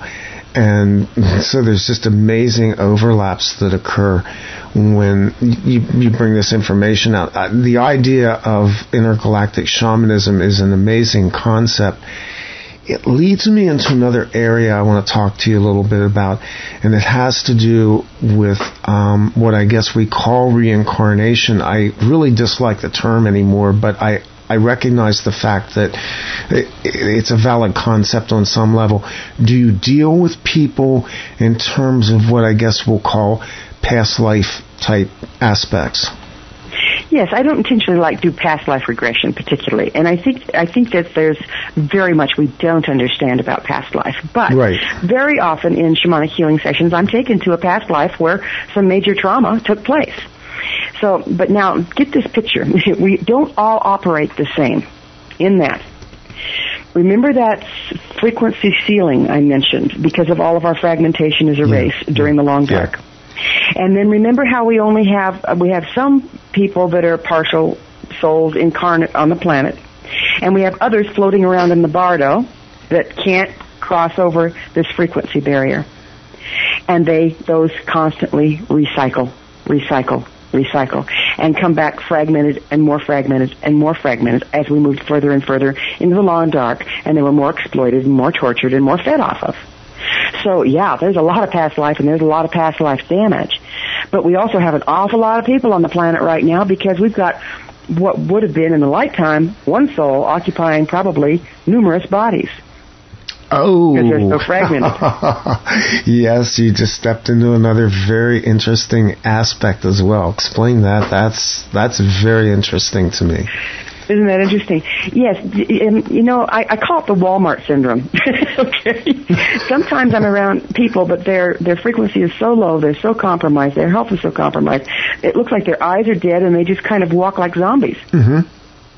And that's what happens to us when we lose so much of our frequency that we're just kind of walking around in these bodies, but we don't have connection with ourselves, we don't have connection with each other, and we're just total little in a, a, oblivious, really.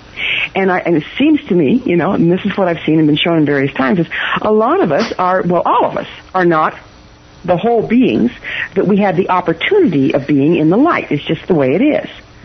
But now a lot of us, a lot of those whole beings in the light had incar- uh, incarnated as various individuals on the planet at the same time, as well as having some of their parts floating around in the ethers, but unable to return to source. And so now's the time that starts to turn around, and what we're starting to see is this mass exodus we've been experiencing. Mm-hmm, is people mm-hmm. leaving. Okay? Yes. People leaving, but a lot of them are leaving so that they can become available for the rest of them to reintegrate. To you got it. Okay. Got it. This is this is uh, you probably reframe something that I've suspected or known for a long time. I don't think I looked at it in quite that context that you just presented, but it has to do with, I guess, what you would call multi, multiple aspects of our own selves, which is um, so difficult to explain that I've actually tried to avoid talking about this. But this is this is very interesting stuff. Isn't it amazing? And that's why sometimes you'll see someone and you'll just feel a real attraction to them. It's not a sexual attraction, but it's like, I know you. Well, we call it coming from the same soul body. And yet these are separate consciousnesses, but yes. operating from the same, what, prima materia? The yes. same soul, soul group? Um, yes help me with language because my language fails me. Uh, well, I don't think we have language for it, but yes, it's like if we consider in the time of unity, the one that we're moving towards, and the one that was in Leo, that everything is moving so quickly that we've approached unity. So what do we mean by moving so quickly is you were switching from positive negative, positive negative so rapidly as to almost have a unified experience. Now we have to have a certain amount of polarization in order to be alive. All of our systems function on the base of attraction and repulsion. The way the cells move things in and out of them, everything, okay? Including all the toroidal fields have to have a certain amount of polarity. Mm-hmm. When we're in a time of unity, we encompass a much larger band as an individual in a single body, a much larger band of frequency. Okay? Okay. You, like we just say, much larger, you know, higher octaves, lower octaves, just like in sound. Right, right. Okay, so as we start to go into that long dark, instead of being a single instrument, we start having to split into a symphony, if you will. So each person holds a particular aspect of the frequency. Some of it is so high that it can no longer be incarnate on the planet because Right. the planet's moved into a polarized state. Right. Okay, so it's there, but it's we're, it's not it's not interacting, and that's what sometimes we refer to as our higher selves, aspects of ourselves that exist at a higher frequency. Yes. Yes. Now that's the natural order, but when we're working with a system that has become so exploitive, all these um, ritualistic abuses and all those nasty things we were talking about before, Yes. intentionally fragment the souls further because just like fra- splitting an atom, energy is released at the time of fragmentation to be exploited. And then also the part is uh, available to be tortured because it's not no longer part of the whole. And we become extremely fragmented, more so than just the natural from our higher selves to unity and back to higher selves again as we move through the ages. And that's the situation we find ourselves in now, and that's what we're trying to heal. So if I understand you correctly, and first off, you mentioned a die-off, and this has been repeatedly talked about um, in some of the things that I've read over the years, and even my own understanding, because what we're talking about, I guess, is what you would call the end of days in the Bible, uh, the transition into this age. But there are these prophecies, predictions out there of souls who are just going to depart en masse from the planet. Is that occurring now? Is that something we're going to see accelerate as well as we go into this? Well, I'm yeah yeah yes it is, and I'm going to have to share something with you that I saw on a journey uh, that was around what's going on in these times. So um, our entire sun and solar system is moving into a higher frequency area that's affecting every planet and the sun itself. Frequency is raising for all the reasons we talked about, and the frequency of the planet herself is raising. Um, we have then on the other side we have all this unbelievable fragmentation that was able to take place during the long dark from the witch burnings to everything else. And um, continuing. So we talked about some of these fragmented parts are incarnate in bodies but some of them are trapped between that energy ceiling and physicality. As the frequency of the planet rais- raises to a certain level it breaks that energy barrier, energy ceiling, and these souls, the ones that aren't necessarily in bodies, can go to source. And it's like, so I see these things just flying off the planet when we get one of those waves where we get these high frequency waves we were talking about. Mm-hmm, mm-hmm. It's like I just see these, but it's not necessarily people in bodies dying, but rather souls that have been trapped here because of the frequency ceiling are being released. We also see more people dying than are being born for the first time in the United States for how, how long? Oh yeah. So it's not just dying, it's just not coming back. So the cycle itself is actually kind of tightening like a spiral. Yes. Yeah, visually, you know, that's what I get too. And Yeah, exactly. um, it it's even for this show, some of the concepts we're talking about are really out there on the rim, but this multi-aspect of self is so interesting and yet so hard to describe and and describing it in the context of where we're at right now.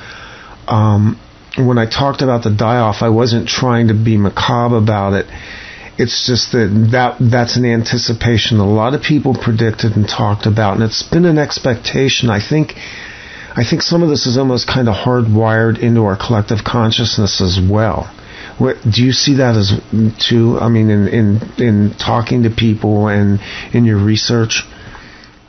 Yes, I, I, you know, I've seen a lot of predictions about that, and I've, I've, I've heard a lot of people talk about it, and, and like I said, I think it's again just like past life. I don't, I think it's, um, I don't think we really understand exactly what that looks like, and that's why that vision I had in the journey was so telling to me that that it was not, you know, yes, people are more people are dying than are being born right now in a lot of places through choice, and more people that are coming in. Uh, look at these rainbow kids. Look at these crystal kids. Because yeah, our yeah, the planet is in a higher frequency place right now, kids can come in with more on deck than they could before. And so the ones being born are more, more whole and carry a larger frequency range than a lot of the older ones dying. I kind of straddle two generations here, even in my own home. And what I notice is how extraordinary children are now. Um, some of them are extraordinarily fragmented. Some of them are incredibly gifted. But there seem to be extremes, and I, I talk to friends that are educators, and they're perplexed. Um, do you deal with children at all? Do you have an opportunity to do practices with with younger people? Yes, I sure have. I've practiced with a lot of younger people. In fact, we used to hold um, uh, junior training school, uh, shamanic training for the gifted young ones that were having trouble because they could they could see in the quantum level and they were having trouble existing in the matrix, if you will. So we used to work with those a lot. I work one on one with those kind of kids a lot. Um, but what I see, and this is kind of the best that I can describe it, is now that we're coming into a higher frequency time, people that have or, or beings that want to incarnate can bring more of themselves with them from outside of that frequency barrier. And at the same time, others are still being reborn from that are coming or recycling from within that frequency barrier. So it's like we have these two almost different species, Yes, if you will. that's that's exactly what I think I've been seeing and what a lot of people were talking about. It's it's almost a it's like a dichotomy because you have incredibly gifted, almost seemingly very together type people. And at the same time, you have the other side of the spectrum, which is these. Uh, I, well, how long now have we been treating uh, attention deficit disorder? I know it goes back to at least 12 years ago when one of my children was in middle school because they tried to treat him. And so we've been trying to treat disorders of people who are exhibiting aspects, again, of their various personalities incarnating. Exactly. So these blessed ones, of course, the system's going to try to put nice low frequency chemicals and, and, and get them uh, under the radar there, you know, because they're a threat to the system. And you know, I, I remember my son was uh, came in very gifted, and um, he was in second grade. He came home one day and he says, "Mom, I've decided." I'm not going back to school. I said, "Oh, do tell, son." And he says, "Well, mom, all they do is make you sit still all day, tell you lies, and expect you to memorize them." Well, I didn't have much I could say to that, except then we had to go into the discussion. Well, they'll arrest your mommy if you don't go to school, because I sure couldn't argue with his assessment. Yeah, yeah, that seems to be an issue. We've done it all. We've sent our kids to school and we've homeschooled them, and uh, every child's different. Yeah, and there's nothing wrong with the kids going to school. It's just that um, the the really gifted ones are a challenge to the system, and so the the the the method in the past from very well-meaning teachers and doctors has been to medicate them. But I think now that there's more and more and more of them around, we're recognizing, oh, this isn't this isn't uh, a, disorder. this is a new order. Exactly. Yeah, yeah. Um, a lot of the a lot of the kids that have come in this time uh, would be in the spectrum of anything from ADD up to autism and everything in between. exactly. That is an interesting issue as well. Autism. Have you uh, dealt with that? Outside of being one, no. Well, I think I'm there's pretty- an aspect to all of us that's somewhat autistic. That may so. actually be a good thing. well, it is. It's just you have to be able to come and go as you wish rather Yeah. than get stuck Yeah. out there. Yeah. and yes, I have worked with, with autistic children. They respond really well to drumming. Um, in one of the jump start programs, I used to hold drumming circles. And those little boogers that climb underneath the big drum just to feel it. It was amazing to watch because it grounded them and it helped them, you know, connect with the earth rhythms. I would think in general this would be something ideal for children to learn, to reconnect them, because, you know, we're talking of shamanism at its most basic level, as I understand it, is connected to the natural rhythms and cycles of the planet itself. It goes beyond that, obviously. But taking young children and getting them connected early seems like we would be building on the practice and again, one of those waves moving out to advance the hundredth monkey syndrome. You've got it. So that way the children have a recourse, they have a place to ground so that they don't have to fragment even though the system's in trouble. And, uh, and they can retain more of their natural expression rather than lose it. And like you say, there's another way of going out rather than fragmenting into the system and then trying to heal back out of it. I get a couple of questions on the chat room, and again, if anybody wants to call in right now, it's perfect time. Uh, we're bumping up on the on the end of the second hour, but I'm going to take the last question first. it transitions a little bit better, but basically it says um, they don't understand what you mean by raising the frequency to get good health. The person says, "I get that this is bandwidth." But so much of what the guest describes as health is simplified as high frequency. What is it? How do we know it is high? I hope that makes sense. Hmm.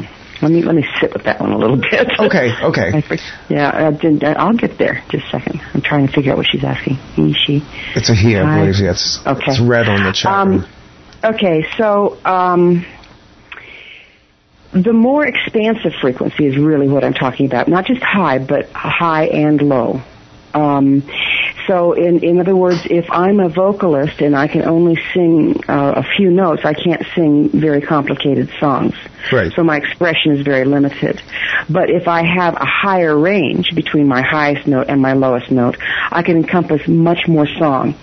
It's the same way with every aspect of our beings. If our bodies have more mobility and less restriction, they can operate at their optimum, and that's what I'm talking about in frequency. And it operates that that same concept operates physical, mental, emotional, and spiritually. So by high frequency, I don't just mean higher and higher. I really mean more expansive, and it goes back to Einstein saying that reality is frequency match the frequency of the reality you want, you can't help but get that reality. So if we have more expansive frequency on all four of our levels, and the reality we want is one of health and prosperity, that's what we can create. Right. When you were describing that before, I pictured it sort of as the Merkaba, uh, the yeah. pyramids on both ends, and yes. the energies themselves uh, contain contain both down and upward at the apex of the of the of the triangle. Exactly. Yes. So we're, and that we're modulating. Isn't that really kind of a good way to put it? We're kind of modulating the frequencies. It's not high or low. It's bringing all of that together in balance. Exactly. Exactly. Okay, Red. I, Red, I hope I, I hope that answers your question. And go ahead and post if uh, if you have additional questions. The other question had to do with something we talked about earlier. Can we do anything to assist the trapped souls?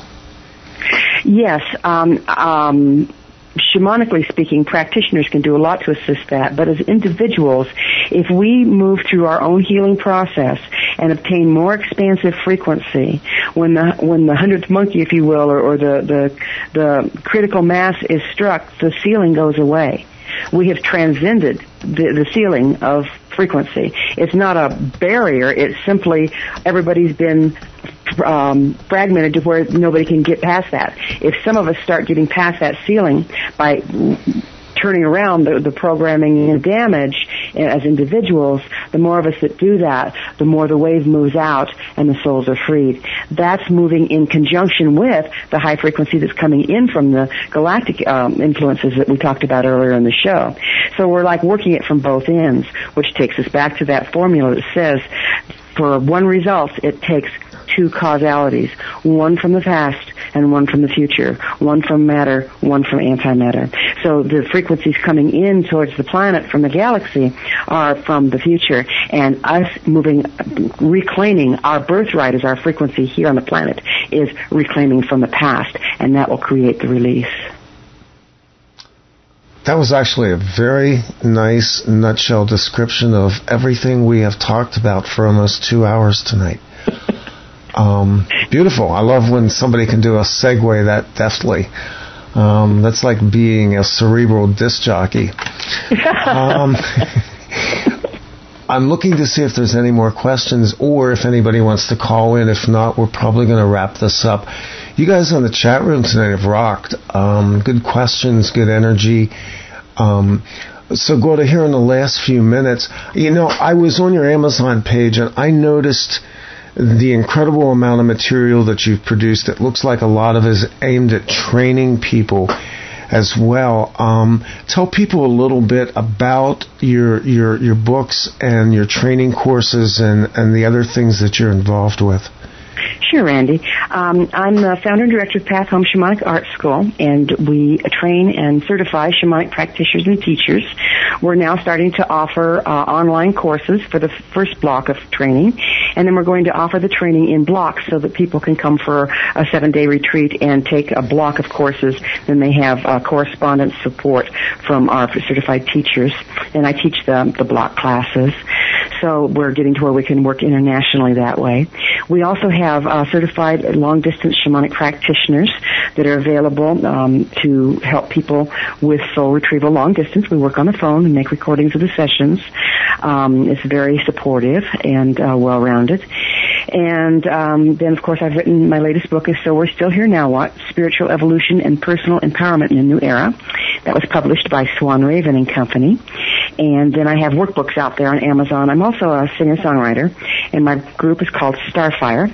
And our latest CD released is um, uh, Winds of Time, and it's also available on Amazon or on my website.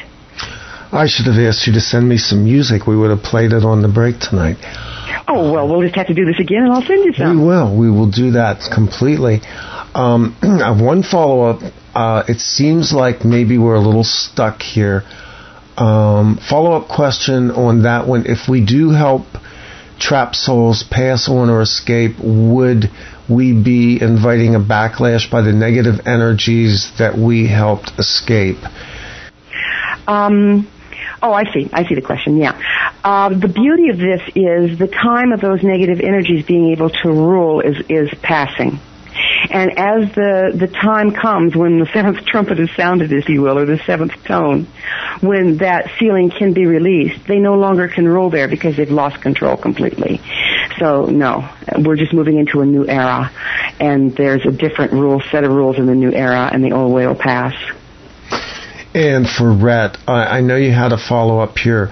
Uh, talking about raise your vibration and new age mantra. I think if you go back and replay the archive on this show, um, somewhere in this group of thoughts and ideas tonight, uh, this was explained. It is not the same thing as raising your vibration. Is is that correct, Gwilda? Yes, it is. Uh, frequency, everything expresses according to frequency, like Einstein said. So I'm talking about at the quantum level, not uh, good vibrations. And you might want to get the book too. That would probably help a lot. Yeah, it, really steps it out. It's, it's a very complicated um, concept, but it, it really lines up with physics, and it's easily described in the book. It's just kind of hard to verbalize it. Absolutely. I think we've had a very fascinating con, uh, uh, series of conversations here tonight, Gwilda, and uh, I look forward to uh, having you back again at some point because it looks like once we, once we got past the initial, there was a, a lot of interest here.